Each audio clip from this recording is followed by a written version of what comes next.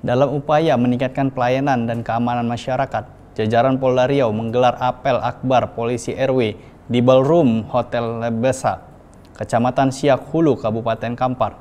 Menurut Wakapolda Riau, Brigjen Pol K. Rahmadi, kegiatan ini menjadi momentum penting dalam memperkuat peran Polri, polisi RW,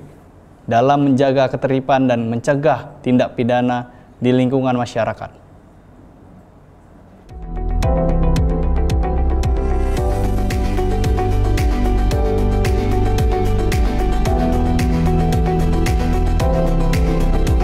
Saya melihat uh, posisi sekarang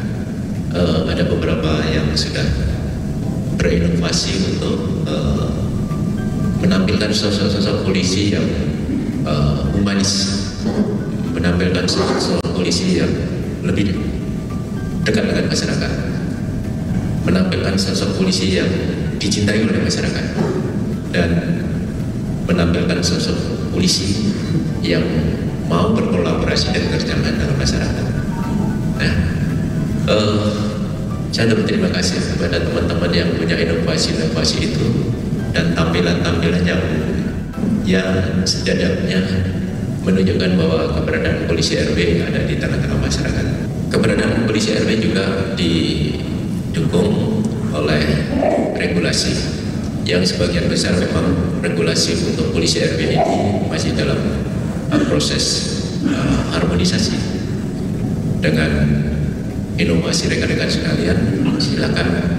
semua kegiatan-kegiatan yang berkaitan dengan kegiatan preventif dan preventif rekan-rekan sekalian di tengah-tengah masyarakat di lingkungan RW itu